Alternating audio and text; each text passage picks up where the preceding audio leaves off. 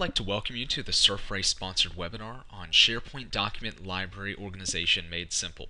My name is Josh Noble and I'm co-author of the book Pro SharePoint 2010 Search. I'm also a search consultant with Surfray, which is the provider of the Ontolica search enhancement for SharePoint. In previous webinars, we've looked at different ways to manipulate the Search Center in SharePoint. And to see any of those past webinars on the subjects regarding search, uh, such as manipulating the refinement panel, uh, displaying custom properties in the result set, or displaying ratings, make sure to check out our recorded webinars at surfray.com. Some of the subjects, such as displaying ratings or uh, adding metadata columns, are actually uh, things that we'll build upon here within this webinar. So if you've missed those, make sure to check those out. Uh, for this webinar, we're going to explore document libraries, which is something that we haven't looked at a lot previously in other webinars. The timing of this webinar is really appropriate, uh, as our two new Ontolica modules, Ontolica Library Preview and Ontolica Aggregate, will be generally available this, within the month we've had really great success uh, with our beta program of both Ontolica Library Preview and Ontolica Aggregate, and uh, we'll actually spend some time looking at Library Preview uh, near the end of the webinar. But uh, make sure to check out surfray.com if you're interested in uh, seeing some additional videos about that, or uh, getting a demo, or even doing a trial of any of those solutions on your local machine. So as you can see from our agenda, we're going to look at several different ways to organize content within SharePoint document libraries. For this webinar, we're not going to get into topics such as uh, where you should actually create document libraries themselves or how you should structure data within your taxonomies. Uh, if we did that with this webinar, would be extremely long. Uh, so we do have uh, upcoming webinars that are on subjects like that, so make sure to check out the events page on surfray.com to find out when those will be. We're specifically for this webinar going to look at how to work with uh, different views within document li libraries and how to organize, organize content so that it can be accessed and, and viewed in a more meaningful way here we're going to look at a couple different ways, and, and again, most of this is going to have to do with views in SharePoint document libraries. So we're going to look at how to add columns that you've already made to an existing view in a SharePoint document library. So if you just have additional metadata columns and you want to expose those to views that have already been created, how to do that. We're going to look at how to create a new view that filters for items to only be returned that meet specific restrictions. So only only returning items that uh, return back uh, where ratings are over three, uh, three out of five, or uh, where a particular property meets a particular uh, option. So there's different ways you can do that, and we'll look at uh, ways that uh, you might want to apply that later. And then we'll look at how to create a new view within a document library that uses the grouping feature. And for many of you, uh, that is kind of like a tree view. So you might find that out on uh, things such as knowledge-based sites. But we'll look at uh, exactly what I mean by grouping in document libraries. And after we get, th get through that, uh, we'll then look at a couple things that you can do with Ontolica Ontolica library preview. So we'll look at how to add document previews uh, to views within uh, within your SharePoint document libraries using Ontolica library preview. And then we'll look at different little ways that you can edit the first page preview settings in Ontolica Library Preview because anybody that's used Ontolica before knows that it's it's really flexible so there's uh, quite a, different, a few different ways that you might want to customize that based off of your particular set of needs. So with that, let's jump into my SharePoint environment and uh, look at what we can do in document libraries. So now we're in a SharePoint 2010 document library. And again, I should note that for this webinar, uh, we'll be looking at a document library that's already been created and seeded with content. And I realize that some of you that are watching might be interested in how to actually create a document library in the first place, uh, how to move content between document libraries, and how to reliably manage versioning between different document libraries. For anybody that's interested in that subject, I'll be hosting a webinar all about that on September September 16th. Make sure to sign up for that webinar at surfray.com.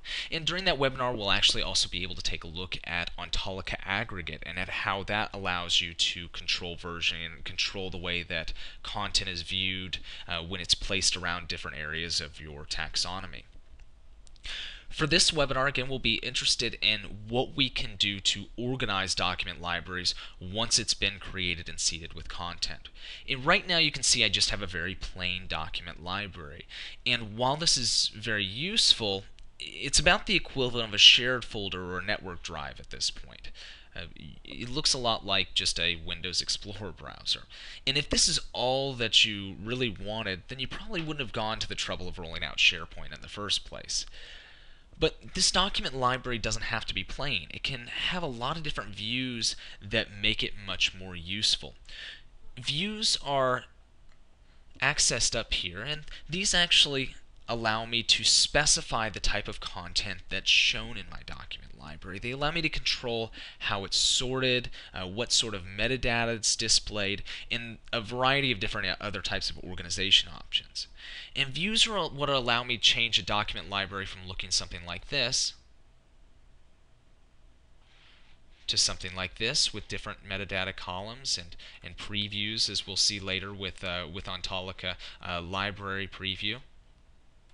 They also allow me to get things that are viewed like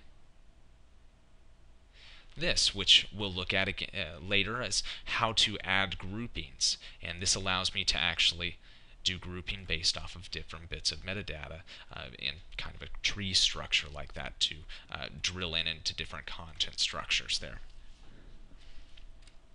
As an administrator, views allow me to change how my users see their content. And as a user, I can also create my own custom views to change how I see my own content. So if I only want to see the metadata columns for uh, document names, last modified date, and rating, then I can see that without extra junk on the page. And in the example I'll, show you a little later, if you only want to see products, for example, that are rated above three stars that have that are considered to have very high quality, I could make property restrictions around that as well uh, that allow me to view only that sort of content. So let's take a look at how I can actually manipulate these views. And to do that, I'm going to hop to a uh, plain webinar library that I've just created, so I haven't done any created any of these previous views on here. So let's jump over there now, and I'm going to do that here on the left-hand side of the screen, clicking on uh, this other library, webinar library. So here in this uh, webinar library that I've set up, uh, you'll notice that I just have a plain view that's uh, that's coming back here. This is just kind of the default view that you would get in base uh, SharePoint. And fortunately, when I was uh, making this, I, I, did copy over content from another document library and preserved a lot of the metadata there. So we don't need to spend a bunch of time in this webinar learning how to actually add metadata. Uh, again, if you want to learn how to copy content from another document library, sign up for our uh, webinar on September 16th on that uh, that subject, and you can find that on surfray.com. And if you want to actually know how to add metadata columns, check out the quick tip number two that we've already posted on our tech blog on surfray.com.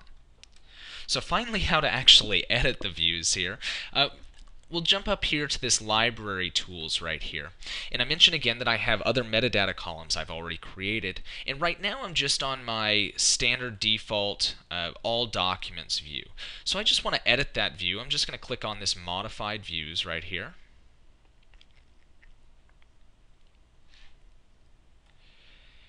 And we'll notice that I have a lot of other different columns that are just not displaying right now. And when you create a new document library, these are just the basic columns that you'd usually get. But let's show everything else that I've created, I've added in here for custom columns. Let's look at dream length and dream quality, dream subject, dreams. Uh, we'll hop down here, we'll throw in ratings. And in addition to that, let's actually change around how these show up on the page. We'll notice it says position from uh, from left. So you can actually uh, numerically choose where you want these to show up. So for example, if I want dream subject to show up um, as space number 5 here, I can do that. I just click on the item next to dream subject and choose 5 there. And we want ratings to show up at the end there. Maybe I want dreams to show up as item, item 6 on the list. So now I've just checked which particular uh, columns that I want to show up, and I've chosen uh, the order I want those columns to appear, and that'll all be updated when I click OK. So here I can just scroll back up to the top of my page, because it's all I want to do at this point. I just want to click OK.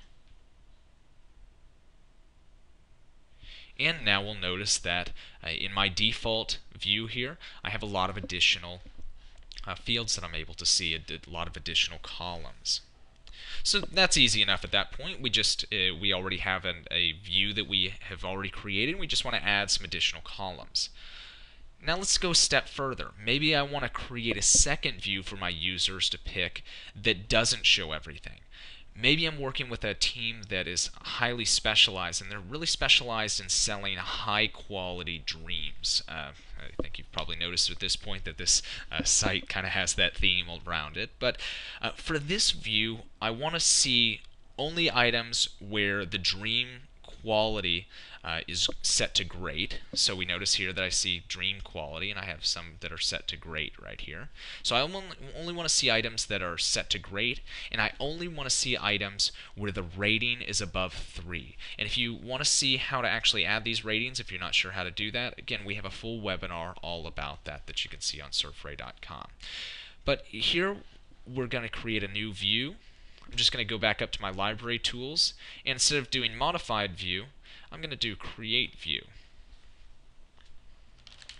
And here I can choose a couple different views. Uh, if you have the type of information in this library that's more like a calendar, you could do that. Data sheet, uh, data sheet views are uh, kind of like creating a spreadsheet view where you can actually con copy content out. But here we're just going to do a standard view. And we're going to call this view high quality dreams. And just like before, I can go down and I can choose the type of information that I want to show on this. So I really don't care about modified or modified date. I really don't care about the subject in this case. I'm really only interested in a couple things. Let's say I care about dream length, dream quality, and the ratings field. So here, I'm going to just set those and then I'm going to scroll down my page we'll notice that I have some various different options here. I can change how my columns are sorted by default. So do I want my items to show up in ascending or descending order? And what what particular columns do I want it to be sorted by? And so you can add a couple different columns and the way they're sorted and the order they are. So sort by this column first, then sort by this column. And that's pretty easy stuff and you can play around with that. Uh, in this case, I want to actually set a filter. I only want to show items that meet these two parameters. We need to show items that only have a dream quality that is great. And by setting that, you can obviously do an AND or OR. They also need to have a rating that's greater than 3. You'll notice from this drop down here, we have a lot of different options, equal to, greater than, less than. Uh, we'll actually do, instead of doing greater than, let's actually do greater than or equal to, just in case somebody's done three stars exactly. And if I want to add more uh, filters here, I could do show more columns and add additional filters, but I think two is enough for this particular view. And then here we're just going to double check some other things. Uh, I'm going to want to use this inline editing later, so I'm just going to check that now while we're on this page. And I could have some other different settings, but let's just do this basic ones now. We'll click OK.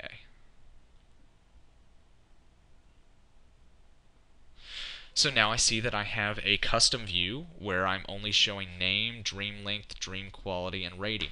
And I probably didn't even need to show dream quality here because I've already specified the only dream quality that can come back needs to actually be great. Uh, so I probably could have gotten away with just seeing dream length and rating. But now I'm seeing a much more specified view that's meaningful for me if I'm only looking for items where my rating's over 3 and my dream quality is great.